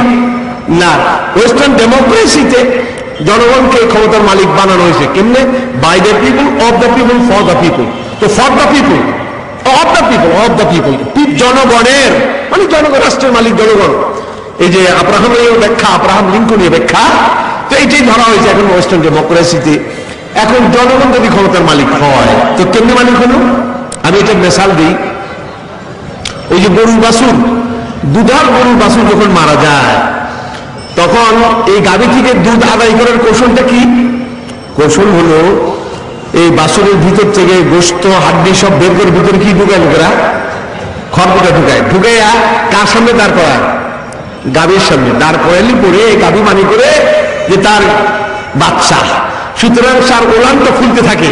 এদিক দিয়ে এই বাচ্চার আড়াল থেকে দুধ করে কি? ওই গাবিওয়ালা চালাক গাবিওয়ালা এই কাজটা করে। ওইটাকে সামনে একটা দুই নম্বর বাসুর, এটা এক নম্বর না, এটা দুই নম্বর। এটাকে সিনথেটিক বলেন, আবার আপনার কি আর্টিফিশিয়াল বলেন, যাই বলেন, সামনে তাকে রাখছে। আসলে কিন্তু এটা বাসুর না, এই বাসুর কি দুধ খায়? এই বাসুরের দুধ খায়। বাসুর এটাকে সাইনবোর্ড হিসাবে একটা স্লোগান হিসাবে পেশ করা হচ্ছে। এমনি ভাবে জনগণ ক্ষমতার মালিক একটা ভেমা বাসুর, এই কথাটা একটা ভেমা বাসুর। এই বাসুর মানে চালাক লোকেরা ক্ষমতা, এইভাবে জনগণকে এই গাবি থেকে দুধ দহন করে, ওরা কিন্তু ক্ষমতা ভোগ করছে। জনগণকে ধোকা দিচ্ছে এই কথা বলে জনগণ ক্ষমতার মালিক। আসলে কোনোদিন জনগণ ক্ষমতার মালিক, ক্ষমতা প্র্যাকটিস করতে পারে না। শুধুমাত্র একটা ভোট দিতে পারে আর কিছু না। ভোটের নাম ক্ষমতা। এই মেশাল আরেকটা মেশাল দিই। বাংলাদেশে যারা কবরের ব্যবসা করে, কবরের ব্যবসা। ওখানে কি লেখা থাকে? নিজ হাতে দিবেন, নিজ হাতে। কোথায় বুঝে আসছে? মানে দালাল ফালাল, এদের হাতে দিয়ে না, পয়সা নিজ হাতে ফেলাইন কোন জায়গায়? কবরের মধ্যে। আচ্ছা বলেন, এই যে কথা বলা হলো, এটার অর্থ কি এই যে নিজ হাতে না দিলে পরে কবরওয়ালায় কিন্তু এক পয়সা গ্রহণ করবে না? কবরওয়ালায় কয় পয়সা নেয়? এই পয়সাগুলি যা জমা হয় এর কয় ভাগের কয় ভাগ নেয়? বলেন, কয় ভাগ নেয় এক বছর খায় কবরওয়ালা। আরে, খুঁটলে পরে তো অনেক কবরের ভিতরে পয়সা হাতিও পাওয়া যাবে না। কিন্তু উপরে পয়সার স্তূপ হয়ে যাচ্ছে। তো এগুলি কাজ করছে কারা? কিছু রকম প্রতারক লোক। ওরা রাজনীতির নামে প্রচারণা করে, এরা ধর্মের নামে প্রচারণা করে। কথা বুঝতে পারছেন? এই ভেবা বাসুরকে এই কবরকে তারা বানিয়ে এটার চাদর টানায়, এটার উপরে মশারি খাটায়, গোলাপ পাশি করে, এটার মধ্যে আলো দেয়, অনেক কিছু করে। আসলে এইগুলিকে সামনে রেখে নিজেদের প্যাক বানায় এরা। কথা বুঝতে পারছেন? তো এরা কবরের ব্যবসা করে প্যাক প্যাট বানায়, ওরা রাজনীতির ব্যবসা করে প্যাট বানায়। কথা বুঝতে পারছেন? মাঝখানে জনগণ, তারা এক্সপ্লয়েটেড হয়, তারা কিন্তু সুশোষিত, বঞ্চিত হয়। আর যেটা ব্যাঠিক জিনিস, এটার কোনো ঠিক ঠিকানা নেই এটার কোনো মাথা কথা নাই। আচ্ছা। এখন যদি আল্লাহ ক্ষমতার মালিক হতেন, তাহলে কি হতো? এটা দেখতে হবে। আল্লাহ যদি ক্ষমতার মালিক হতেন, তাহলে কি হতো? আল্লাহ কোরআন জবাব দিয়েছে। কীভাবে? কোন? হে নবী, আপনি বলে দেন এই লোকদেরকে। আপনি বলেন, এই নিরপেক্ষ পিতা ভাগ করনেওয়ালা তিনি কে? হুয়াল্লাহ, তিনি আল্লাহ। আল্লাহ ছাড়া কেউ না আল্লাহ। আল্লাহর পরিচয় কি? আসামাদ তার কোনো ত্যাগ নাই, তার কোনো প্রয়োজন নেই। সুবহানাল্লাহ। তার কি নাই? আল্লাহর পেট আছে নাকি? মান্না করদম করদম খলক তাসু দেখো নাম। লেকে তাবর বন্দে গাজু দেখো নাম। করদম তাসু নাম। আমি এই জন্য সৃষ্টি করি না। এই নিয়ামতগুলি আমি এই জন্য সৃষ্টি করছি না। আমি নিজে ভোগ করার জন্য, উপকৃত হওয়ার জন্য আমি করছি না। লেকে তাবর বন্দে গাজু দেখো নাম। আমার বান্দাদের আমি দান করার জন্য তাদের প্রতি দানের দানকে অবারিত করার জন্য আমি এগুলি তৈরি করছি, এগুলি আমার নিজে ভোগ করার জন্য না। সুতরাং আল্লাহ পাক যাই কিছু করছেন নিজের জন্য না, আপনাদের জন্য। তার জন্য? আমাদের জন্য তিনি করছেন নিজের জন্য না। অতএব তার আইনটা, তার বিধানটা, তার ফয়সলাটা কি হবে? অ্যাবসলিউটলি নিরপেক্ষ হবে। অ্যাবসলিউটলি কি হবে? নিরপেক্ষ হবে, নিজের কোনো স্বার্থ সংরক্ষিত হবে না, সুবহানাল্লাহ। সেখানে পারিবারিক কোনো সুযোগও থাকবে না। আমার পরিবারের অমুকের ক্ষমতা হতে হবে, অমুকের অংশ হতে হবে। কয় না, আল্লাহ পরিবারের কোনো ধারণা নাই, তার বাবাও নাই, তার মাও নাই, তার ছেলে সন্তান নাই, তার বাবাও নাই, তার ভাগ্নও নাই, তার ভাস্তাও নাই। আলাম ইয়াকুল্লাহু কুফুয়ান হাত তার সমকক্ষ কেউ নাই। সুতরাং তিনি একক, একজনই। এটা তিনি করতে পারেন আর কেউ নাই, কারও স্বার্থ সংরক্ষিত হবে না। কথাটা বুঝে আসছে? সুতরাং বন্ধুগণ, রাজনীতিতে যদি সার্বভৌমত্ব কার হয়, তাহলে সুবিধা না অসুবিধা? আমাদের খালি সুবিধা। আমাদের খালি কি? নিরপেক্ষ। রাতের গভীরে মদিনায় শীতের মধ্যে হাঁটতেছেন। মানুষ ঘুমায় পাহাড়দাররা পাহারা দেয়, কিন্তু এখানে পাহাড়দার স্বয়ং কে? আমিরুল মুমিনিন ওমর এক মহিলার বাচ্চা কাঁদে। তার কাছে গিয়ে বলছে, ও মহিলা, তোমার বাচ্চা কাঁদে কেন? মহিলা নিজের দুধ বাচ্চার মুখের মধ্যে দেয়, বাচ্চা খামোশ হয়ে যায়। আবার আবার বাচ্চা কাঁদে। উমর আবার এসে বললেন, কেমন মা তুমি? তোমার বাচ্চা কাঁদে, তুমি ঘুমাও। মহিলা তো আর সিরিয়ালে কে কথা বলতেছে। মহিলা বলে, শুনুন, আসলে ব্যাপার হচ্ছে, আমি মুমিনিন একটা ঘোষণা দিয়েছেন যে সমস্ত শিশুরা মায়েদের দুধ পান করবে না, দুধ পায় না বা পান করতে পারে না, দুধ পান ছেড়ে দিয়েছে, তাদের জন্য সরকারি তহবিল থেকে শিশু কল্যাণ ভাতা চালু করা হবে। তারা পাবে। আর যারা দুধ পান করে তাদেরকে দেয়া হবে না। তো মহিলা বলছে, আমরা এই ভাতাটা পাওয়ার জন্য ওই বাচ্চাকে আমি কষ্ট দিয়ে দিয়ে আস্তে আস্তে দুধ ছাড়ানোর অভ্যাস করতেছি। এই জন্য হুজুর বাচ্চা কাটতেছে আপনি কোনো রাগ করেন না। মহিলার কথা শুনে তিনি ভয়ে অস্থির হয়ে উঠছেন। তিনি বলছেন, এরকম কষ্ট তো অনেক মাই তার মা, তার সন্তানদেরকে দেয় সরকারি সুবিধা আদায় করার জন্য। আর এই এই এই জন্য দায়িত্ব আমি। আমার একটা রং ঘোষণার কারণে একটা একটা কি বলে একটা অবৈধ ঘোষণার কারণে তো এই অবস্থা হচ্ছে। সুতরাং পরের দিন তিনি ঘোষণা করে দিলেন যে, তোমরা তোমাদের বাচ্চাদেরকে কষ্ট দিও না। যারা দুধ পান করে আর যারা করে না, সবাই সরকারি কল্যাণ ভাতা থেকে শিশু কল্যাণ ভাতা পাবে। তাহলে কি আপনি লক্ষ্য করছেন? নিরপেক্ষ না পক্ষে? নিরপেক্ষ না পক্ষে হলো? কেমন হলো? সোহানুল্লাহ সোহানুল্লাহ অনেকে কয়, আমাদের বন্ধুরা, আমাদের মূর্খ বন্ধু মূর্খ বন্ধু, যারা ইসলাম সম্পর্কে পড়াশোনা করে না, অথচ মুসলমান। এই সমস্ত লোকগুলি কয়ে, কয়, ইসলাম যদি হয়, তাহলে বুঝলাম, ইসলাম হলে মুসলমানদের স্বার্থ সংরক্ষিত হবে। এই হিন্দুদের আর কি খ্রিস্টানদের এটা অবস্থা কি হবে? বাংলা থেকে তাদেরকে খেদানো হবে। সুতরাং একটা কমিউনাল রাষ্ট্র হয়ে যাবে। উমর বাইরে সম্ভবত এলাকায় গেছেন। তিনি দেখলেন বুড়া মানুষের কাছে হাত তিনি বললেন, বুড়াকে নিয়ে আসো, আমার কাছে অবাক হয়ে গেলেন। এখানে ভিক্ষাবৃত্তি আছে? তাকে দেখে বললেন, কি হলো তোমার? দেখুন, আমি তখন তরুণ ছিলাম, যুবক ছিলাম, আমি দেশের দেশের খেদমত কাজ করেছি। এখন বুড়ো হয়ে গেছি, এখন আর কাজ করতে পারি না। কিন্তু আমার খবর কেউ লয় না। তিনি আর একটু দেরি করলেন না, সঙ্গে সঙ্গে তিনি তার বাইতুল মালের গভর্নরকে লিখছেন। কি ভাষা লিখছেন? তার ভাষা শুনুন। তিনি বলছেন, ইবহাস আন হাযা ওয়া আমসালি ওয়া আজরি আলাইহিম রিজকান মুস্তামিরান মিন বাইতিল মাল। তিনি বলতেছেন তুরা বান্দাসুরা যা আছে সবগুলিকে লিস্টিবন্দি করো। কি করো?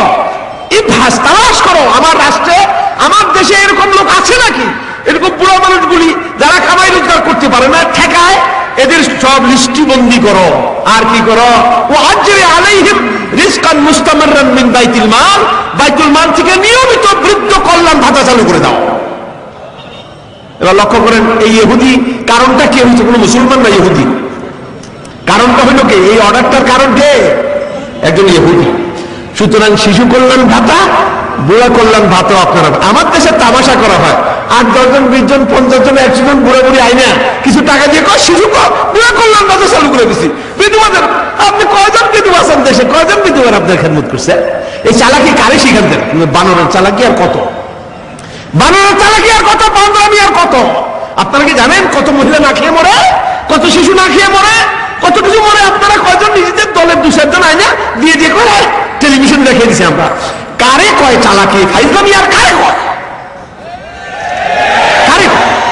তামাশা একদিন আল্লাহ তাআলার সামনে দাঁড়াতে হবে।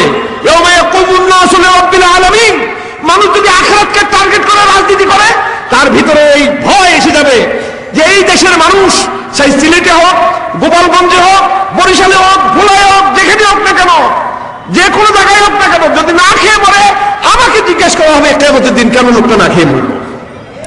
فلاقتحم العقبة وما أدراك ما العقبة فك رقبة وإطعام في يوم ذي مسغبة يتيما ذا مقربة ومسكينا ذا مقربة ثم كان من الذين آمنوا وتواصوا بالحق وتواصوا بالمرحم سبحان الله হুজুর ইসলামকে রাষ্ট্র ক্ষমতা হাতে নেওয়ার আগেই এটা মক্কি আয়াত এটা কিন্তু মক্কি সুরা এই সুরাটা কি মক্কি সুরা সমাজ কল্যাণ সমাজ কল্যাণের যে কনসেপ্ট আপনারা দেখুন কি বলা হচ্ছে। আমা ফালাক তাহামালা কাবা। ঘাটি তো এখনও পার করা হয় নাই। ঘাটিগুলি পার হতে হবে। দুর্গম গিরিকান্তার তোমাকে পাড়ি দিতে হবে। আমা তোরা কামাল আকাবা। সেই ঘাটিগুলি কি যা তোমাকে পার করতে হবে? এগুলি কি? তিনি বলছেন, সুবহানাল্লাহ আমার ফাক্ক রাকাবা। মানুষের গদ্দানগুলিকে স্বাধীন করতে হবে। মানুষ পরাধীন। মানুষের কি করতে হবে? একটা মানুষকে স্বাধীন করতে হবে। এলো ইসলামের অর্থ হলো ইখরাজুল ইবাদে মিন ইবাদে ইলা ওয়াহদা। বান্দাদেরকে, বান্দাদের গোলামি থেকে একমাত্র কার গোলামিতে? আল্লাহর গোলামিতে লিপ্ত করে। এই মানুষের স্বাধীনতার কনসেপ্ট এটি হলো মূল স্বাধীনতা। তো বলা হয় ক্ষুধার সময় মানুষকে খাবারের ব্যবস্থা করে।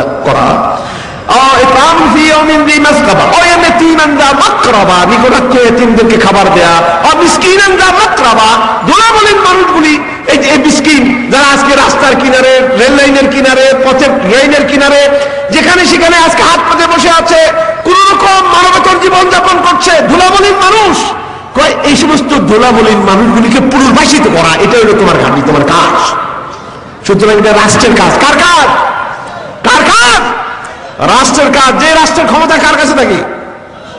সুতরাং আল্লাহ তাআলা কেমন আবার জিজ্ঞেস করবেন, এটা কাজগুলি করছিলে কিনা? তিনি জিজ্ঞেস করবেন। শুধু আল্লাহ জিজ্ঞেস করবেন, তা নয় অকুল আমালু ফাসায়ার আল্লাহু আমালাকুম ওয়া ওয়াল মুমিনুন। গণতন্ত্রের ধারণা দেখুন, ও তোমরা কাজ করে যাও, তোমাদের কাজ দেখবেন আল্লাহ দেখবেন আল্লাহ রসুল এবং এই ইসলামিক জনতা তোমাদের কাজ দেখবেন। সুতরাং মানুষেরও আবার কিছু নজরদারি করার ক্ষমতা মানুষকে দিয়ে দেওয়া হচ্ছে যাতে করে রাষ্ট্রে যারা চালায় তাদেরকে দেখশন করা যায় তাদেরকে বলা যায় যে তারা উঠতে সিধা কি করছে আর না করছে কোরআনের মধ্যে পড়ো সুরাই মায়দায় পড়ো দেখুন কি আল্লাহ বলছেন إنما جزاء الذين يحاربون الله ورسوله ويسعون في الأرض فسادا أن يقتلوا أو يسلبوا أو تقطع أيديهم وأرجلهم من خلاف أو ينفوا من الأرض إنما جزاء الذين يحاربون الله ورسوله যারা আল্লাহ আল্লাহ রসুলের বিরুদ্ধে লড়াই করে কার বিরুদ্ধে লড়াই করে আল্লাহ আল্লাহ রসুল বিরুদ্ধে লড়াই করে এবং সমাজে বিপর্যয় সৃষ্টি করার জন্য চেষ্টিত হয় বিপর্যয় কি চাঁদাবাজি করা হুমকি দেয়া নারী নির্যাতন করা বোমাবাজি করা এগুলো নাম বিপর্যয় এই সমস্ত বিপর্যয় যারা ডাকাতি করে হাইজ্যাক করে, এগুলো সব বিপর্যয়ের তারিখের মধ্যে আসছে। এই সমস্ত লোকগুলির ধর বিচার করো, শাস্তি কি দিবা? বাবে তাফিল দিকে তাকতিল, প্রত্যেকটা শব্দ তাফিল দিকে আনছে। তাকতিল করো। মানে তাকতিল কারে কয়? কয় যে বিচার করে দোষ প্রমাণিত হলে হাজার মানুষের সামনে ঢোল সৌরভ করো। বলে যে অমুক সন্ত্রাসীর বিচার হবে। স্টেডিয়ামে অথবা বাইতুল মুকারমের সামনে তার গর্দান উড়ানো হবে। আপনারা যার যার ইয়ে নিয়ে উৎসাহ নিয়ে আপনারা আসেন। বুড়া মানুষ তো একদম আসব না ডরে এটা কিলাকিলি ধাক্কা ধাক্কি ডরে তো আসবেই না। এরপরে এইসব শাস্তি দেখে করে যে উঠে যাব যদি দশ দিন পর দশ দিন আগে বুঝব সুতরাং বুড়া মানুষ আর আর আসবে না। বুড়া মানুষ আর আসবে না। যাবে কারা? ও তরুণরা, যারা মারামারি করতে পারে, এরাই যাবে। তো ওরা গিয়ে যখন দেখবে গরদান উড়ে দিতেছে গরদান বিসমিল্লা আল্লাহ একবার উড়ে গেছে। সন্ত্রাস বাড়বো না, কমবো। কমবো। আচ্ছা এটা হলো এক নম্বর শাস্তি। দুই নম্বরটা আরও সাদা। দুই নম্বরটা কি? আউসাল্লাবু অথবা শুলে চড়ানো হবে। শুল কারে কয়? এরকম একটা কাঠ, দুই দিকে দুই অংশ দিয়া, মাঝখানে একটা দিয়ে এইভাবে। এরপরে সন্ত্রাসীকে ধরো, বিচার করো, প্রমাণিত হলে পরে এইভাবে তাকে কাছের উপরে ফিট করো। ফিট করে বিসমিল্লাহ রহমান একটা একটা করে ফের একবার এখান থেকে। প্যারাক ড্রেলিং মেশিন। আপনারা শুনবেন যে ড্রেলিং মেশিন দিয়ে সিদ্ধ- করে সন্ত্রাসী হিসেবে মানুষ মারছে আমি শুনেন নাই? মাথার মধ্যে দিয়ে শরীর মধ্যে ড্রেলিং মেশিন প্যারাক মারিয়া। তো যেমন বন্য কচু তেমন আবার বাগাতে দুধ আল্লাহ আগে বাগাতে দুধ দিয়ে দিছি। সেটা কি? তোমরাই কাম করো কোন কাম করো তোমরা প্যারাক এইভাবে, একটা একটা করে। ছয়টা ডিভিশনে ছয়টারে প্যারাক মারো। লক্ষ মানুষ হবে ইনশাআল্লাহ এই দেশে ক্রাইম পানির চলে যাবে ইনশাআল্লাহ। কথা বুঝতে পারছেন? খালি ছয়টারে প্রকাশ্য। মারফতি শাস্তি- না শরীয়তি শাস্তি? মারফতি শাস্তি হইল রাত বারোটার পরে জেলখানার মাঝে চুপে যাবে কেউ যেন ট্যাগ না পায়। এগুলি মারফতি। আর কয়, এগুলি মারফত মারফত আর শরীয়তি শাস্তি হলো কি? লাখো মানুষের সামনে এটা করতে হবে। এটা দুই নম্বর। তিন নম্বর শাস্তি কি? আও তো আইদিন আর্জুল মিন খেলা অথবা অথবা বাম পা ডান হাত অথবা বাম হাত ডান পা কোনাকুনি কাটো, কেটে ছেড়ে দাও। কোনাকুনি কাটলে লোকটা সর্বগুণ নেই। ডানি রওনা করলে বামে যাব, বামে রওনা করলে ডানি যাব। তো এইভাবে চলবে লোকেরা কিন্তু এরকম করে কেন কয়েকজন সন্ত্রাসী আসিল যে সারা জীবন তার এই, এটার দৃষ্টান্তমূলক শাস্তিটার নাম কি? দৃষ্টান্তমূলক মানুষের দৃষ্টিতে সবসময় থাকবে যে এই বেটা কি- কি কাম করছিল যতদিন সে বেঁচে থাকবে, তার অবস্থাতে দিয়ে ওয়াজ করব। ডাইনি বামে খালি ওয়াজ করব, ভাই, এই কাম করুন না, আমি এই কাম করছিলাম। কথা খেয়াল করেছেন? কখনো কোনি কাটো তার জীবনে ব্যালেন্স নষ্ট করে দাও। এই গেল তিন নম্বর। চার নম্বর কি?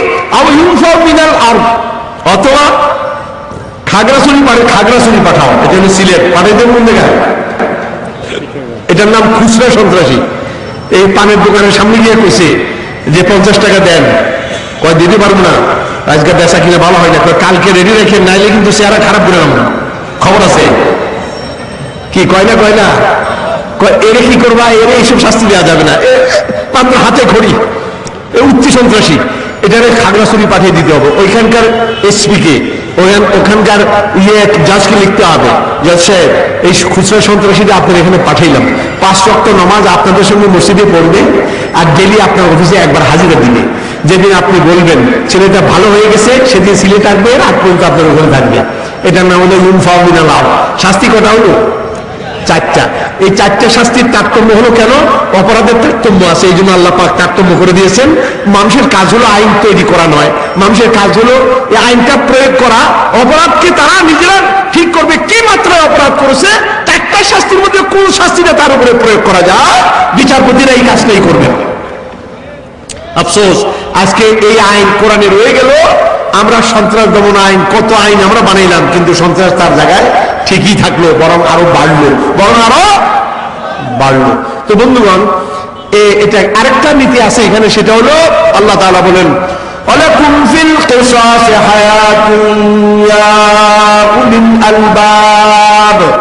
ও বুদ্ধিমানেরা, তোমরা যদি তোমাদের ক্রিমিনাল লতে ফৌজদারি আইনে, বিধানে, তোমরা যদি কেসাস নীতিকে প্রয়োগ করতে পারো প্র্যাকটিস করতে পারো তাহলে সমাজ দেহের সমাজ জীবনের নিরাপত্তা দিয়ে দিয়ে দেওয়া হলো সমাজ জীবনের নিরাপত্তা কিসের মধ্যে কেসাস নীতির মধ্যে আপনি বলবেন কে- কেসাস নীতি কি কোরআন বলতেছে ওয়াকাতাবনা আলাইহিম ফিহা আন্নান নাফসা বিন নাফসি ওয়াল আইনা বিল আইনি والأنف بالأنف والأذن بالأذن والسن بالسن والجروح قصاص আল্লাহ তাআলা বলেন আমি তাদের উপরে ফৌজদারি আইন বিধিবদ্ধ করে দিলাম বনি আইনের উপরে তৌরাতে তেলমুদে এই আইন আমি দিলাম।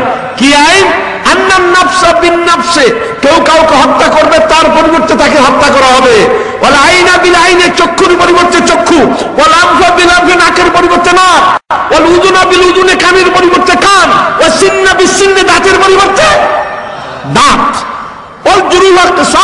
শরীরে যে অংশ ক্ষত করা হবে ওই অংশ থেকে আহত করা হবে। যে অংশ ভেঙে দেওয়া হবে, ওই অংশ তারটা ভেঙে দেওয়া হবে। এটার নাম কেশাস। এটার নাম কি? কেশাস এখন কোরআন বলছে বুদ্ধিমানেরা, দেখুন কোরআনের কথা কত সুন্দর। কোরআন বুদ্ধিমানদের তালাশ করতেছে। আমাদের বুদ্ধিজীবীরা বুদ্ধি নিয়ে কোরআনের বিপরীত চলে যায়। আর কোরআন বুদ্ধিমানদের তালাশ করে, বুদ্ধিমানেরা, আসো, তোমরা এই আইনটা চালু করো। বুদ্ধি খাটাইয়া এই আইনটাকে প্রয়োগ করো। তাহলে তোমাদের সমাজের নিরাপত্তা এসে যাবে। দাঁত ভাঙা ভাঙি, কান ছিঁড়া ছিঁড়ি, নাক ভাঙা ভাঙি, এগুলি চোখ উৎপাটন, এগুলো সব বন্ধ হয়ে যাবে। কারণ তুমি দাড়ি পাল্লা দিয়ে বিচার করো। আমার দেশে দাড়ি পাল্লা হলো মার্কা। বিচার, বিচারের মার্কা কি? দাড়ি পাল্লা। একজনের সলিমুদ্দিন কলিমুদ্দিন নাক ভেঙে দিয়েছে।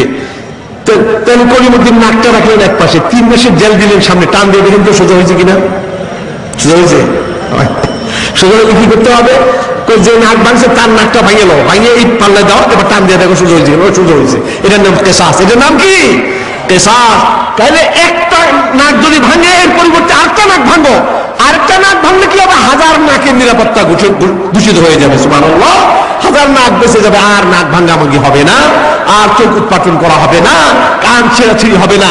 জেল দিয়ে নাক ভাঙ্গাভাঙ্গি বন্ধ করা যাবে না, কান ছিঁড়াছিড়ি করা যাবে না। মানুষের নিরাপত্তা দিতে গেলে এই আইনটাই বিচার ব্যবস্থা আমাদের দেশে প্রয়োগ করতে হবে। তাহলে বুঝুন রাজনীতিতেও আমাদের ইসলাম নাই, আখেরাত নাই। ইসলাম মানে আখরাতের টার্গেটে এই রাজনীতি করতে হবে। আখরাতের টার্গেটে এই বিচার ব্যবস্থা চালু করতে হবে? এরপরে আমাদের আমাদের ইয়ে কি বলে, বিচার এটা গেল বিচারের কথা। এবার আসেন একটা একটু বলি, অর্থনীতি অর্থনীতি। আমাদের অর্থনীতির খবর কি? অর্থনীতির খবর কি? বন্ধুগণ, আল্লাহ তাআলা কি বলেন? আল্লাহ বেচা কিনাকে হালাল করলেন আর সুদকে করলেন হারাম। এখন আমাদের দেশে কি চলছে? সুদ চলছে না চলছে না। সুদ হলো হারাম। কীরকম হারাম? আর রিবা সুদের সত্তরটি গুণা আছে। এক সত্তর নম্বরের গুণার নাম হলো কোনো ব্যক্তি তার মাকে যদি বিবাহ করে। আর বিবাহ মানে ইন্টার কোর্সে লিপ্ত হওয়া। এটা বিবাহ হলো এটা। কোন তার মার সঙ্গে যদি সে জিনা ব্যবচার করে, যেই অপরাধ, সত্তর নম্বর অপরাধ হলো। এবং অপরাধগুলি কারা কারা লিপ্ত? হুজুর বলেন, লান রসুল্লাহ ইসলাম আকেলার রিবা, ওয়া মুকেলাহু, ওয়া শাহিদাইহি, ওয়া কাতিবাহু, ওয়া ক্বালা ইন্নাহুম সাওয়া। কি বলছেন? রসুল্লাহ সাথে অভিসম্পাত করেছেন, লানত করেছেন মানে আল্লাহর রহমত থেকে বঞ্চিত করার জন্য দোয়া করেছেন বদোয়া করেছেন। এটার নাম লানত, রহমত থেকে বঞ্চিত করে দেওয়ার জন্য। কে? কার কার কার কার জন্য বদোয়া করছেন যে বেটায় ঘুষ খাইয়া, সুদ খায়, যে সুদ দেয় আর যে সুদের সাক্ষী হয়, আর যে সুদের চাকরি করে। হুজুর বললেন, এরা সবাই অপরাধের দিক থেকে সমান, একটু কম বেশি না।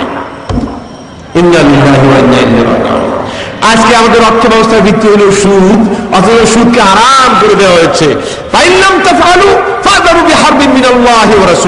যদি তোমরা সুদ না ছাড়ো, তাহলে আল্লাহ আল্লাহ রসুলের পক্ষ থেকে যৌথভাবে যুদ্ধের ঘোষণা শুনে নাও। যারা সুদের সঙ্গে জড়িত, যারা যুদ্ধের মাঠ, তারা যুদ্ধের মাঠে আসো আসো। একদিকে আল্লাহ আল্লাহ রসুল একদিকে তোমরা। মাঝখানে মারামারি গোলাগুলি চলছে। নৌজুবিল্লাহ দালিম এগুলো এক নম্বরের অপরাধ।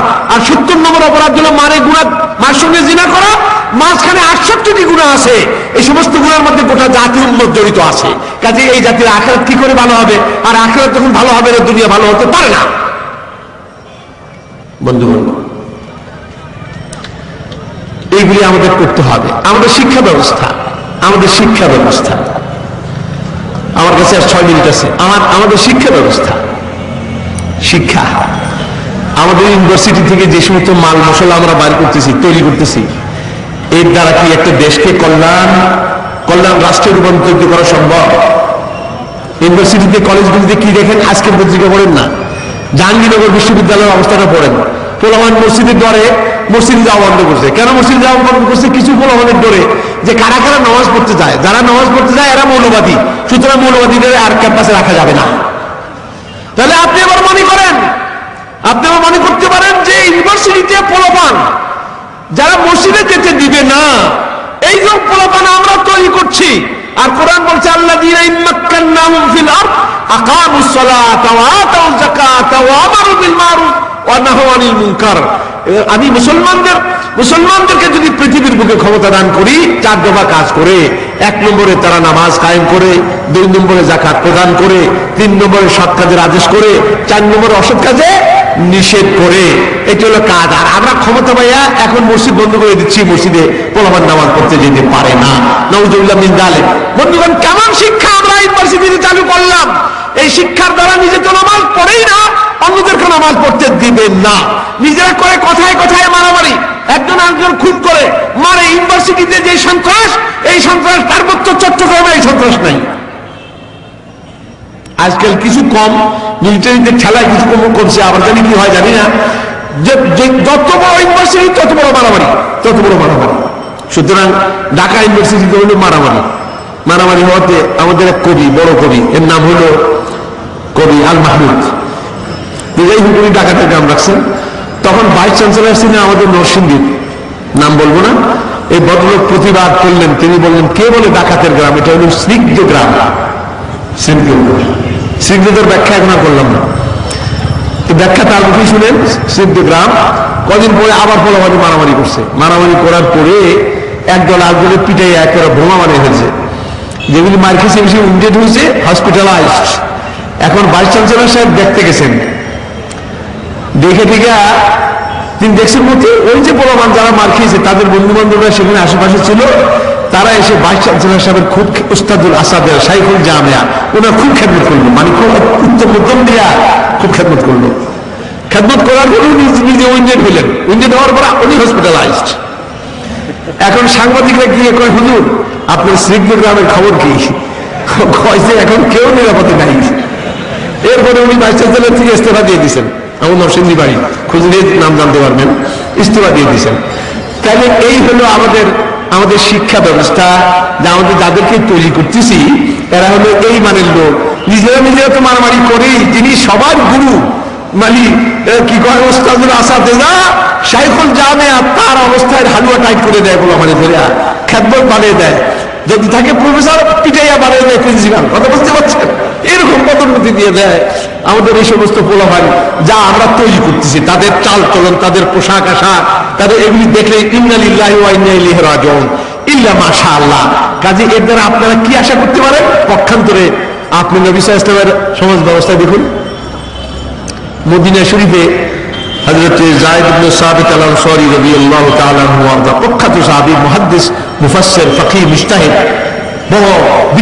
একজন হযরত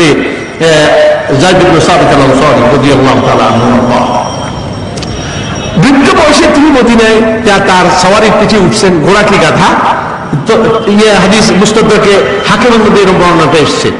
তিনি উঠে পা নিচের দিকে রেখাবের মধ্যে রাখবেন রেখা মানে ঝুলন্ত যে লোহার রিং দুটো থাকে, পা ঢুকানোর চেষ্টা করছেন। বৃদ্ধ সাহাবি, তিনি ঢুকাতে পারছেন না ব্যালেন্স মানে রিংটা সরে যাচ্ছে। দূরে তার এক ছাত্র, তার নাম হলো আব্দুল্লাহ তিনি দেখলেন, দূরে কাছে আসলেন। আদমের সাথে বসলেন, পায়ের মধ্যে রেকাপটা পরিয়ে দিলেন। যখন পড়াতে যাচ্ছিলেন, তখন তিনি বললেন হাজর জায়দ বললেন লাফালিয়াবনে রসুল্লাহ সাল্লাহ আলী সাল্লাম ও রসুলের চাচাতো ভাই তিনি এই কাজটা করুন আমার পায়ে হাত দিও না। তো হজরতে আবদুল্লাহ বললেন হাকাতা ওমেন না না ফালাবি ওলামায়না আপনারাই আমাদেরকে তৈরি করেছেন আমাদের বিদ্যজনদের সঙ্গে, আমাদের জ্ঞানীদের সঙ্গে, আলেমদের সঙ্গে, আমাদের শিক্ষকদের সঙ্গে এরকম আচরণ করতে, এরকম খেদমত করতে আপনারা আমাদেরকে তৈরি করেছেন, আদেশ করেছেন। এখন আবার না করেন। হাজির তার কথা শুনে খুব আনন্দিত হলেন। তিনি বললেন, আর বিয়ে দেখ, তোমার হাতটা আমার কি দেখাও। উনি তার বুঝেন না কি জন্য কিছু হাত দিয়ে দেখাইছে? তকব বলা হাতের মধ্যে একটা চুমু খেলেন জায়দ রবি আল্লাহ হাজরত আব্দুল্লাহ হাতে চুমু খেয়ে বললেন হাকা দাও মান্না ফালাবি কারাবাতে রসুল্লাহ সাল্লাহ আলী সাল্লাম তোমাদেরকে শেখানো হয়েছে, তোমাদের উস্তাদদের সঙ্গে এরকম খেদমত করতে। আমাদেরকে শেখানো হয়েছে, হাল যাও লেসা ইল্লা লেসা রসুলের আত্মীয়দের সঙ্গে কাজ করতে। আসলে এখানে কথাটা হলো যে এই পাটা, যে হাতটা পায়ের মধ্যে লেগেছে রিং পড়াতে তার প্রতিদান তো চুমু দিয়ে দিতে হয়। এটা নেব ল্যান্ড আর দেন শিক্ষক এবং ছাত্রের সম্পর্ক এটা জান্নাতি সম্পর্ক। এটা আখরাত কেন্দ্রিক সম্পর্ক। এরকম আখরাত কেন্দ্রিক সম্পর্ক হলে শিক্ষক, ছাত্রের এই সম্পর্কটাই হয়, এরকম পরিবেশটাই হয়, ইউনিভার্সিটির পরিবেশটা এরকমই হয়, বন্ধুগণ। আর ওইটা বাদ দিলে এরকম কিলকনির পরিবেশ হয় কথা বুঝতে পারছেন মারামারি পরিবেশ সৃষ্টি হয় বন্ধুগণ আসুন আমরা রব্বানা আতেনা ফিদ্দিনী হাসানা আফিল আখারাতে হাসানা এটার মর্ম উপলব্ধি করি যে দুনিয়া সুন্দর করতে হলে কিভাবে তার জন্য যাতা ওয়ালাম তাসলুক মাসালিকাহা ترجو النجاة ولم تسلك مسالكها إن السفينة لا تجري على اليبس তুমরা চাহতা হলে আমি তসলুক মাসালি কাহা মুক্তি তুমি চাও কিন্তু মুক্তির পথে চলতে তুমি নারাজ। এটা মনে রেখো, নৌকা কোনো সময় শুকনো জায়গায় চলে না, নৌকা চলে কোন জায়গায়? নদীর বুকেই চলে। শান্তি পেতে গেলে, কল্যাণ পেতে গেলে, সুখ পেতে গেলে সুখের পথে চলতে হবে। সুখের রাজনীতি, সুখের অর্থনীতি, সুখের বিচার ব্যবস্থা, সুখের শিক্ষানীতি, এগুলি যদি আমরা চালু করতে পারি, তবেই সুখ এর আগে সুখের আশা আপনারা করতে পারেন না। করলে এটা ভুল হবে। আপনারা বনে বসে আপনারা ডাকাডাকি করতে পারবেন, শুনবার কিন্তু কেউ নাই। আপনারা কি রাজি? দুনিয়াকে সুন্দর বানাতে কি আপনারা রাজি? যদি সুন্দর বানাতে হয়, শুধু খালি ওয়াজ শুরু করলে চলবে না। প্রত্যেকটা মানুষকে এই কাজের কর্মী হতে হবে প্রত্যেকটা মানুষকে কি হতে হবে? এই কাজের কর্মী হতে হবে। আমাদের স্লোগান হলো, আখরাত সুন্দর বানাবো, দুনিয়াও সুন্দর বানাবো। শুধু আখরাত না, দুনিয়া। আখরাতকে টার্গেট করলে দুনিয়া ঠিক হয়ে যাবে। এটি হলো আমাদের মূল কথা। আল্লাহ পাক আমাদেরকে বোঝার তৌফিক দেন। ইন্দাহ ওয়া আলা মা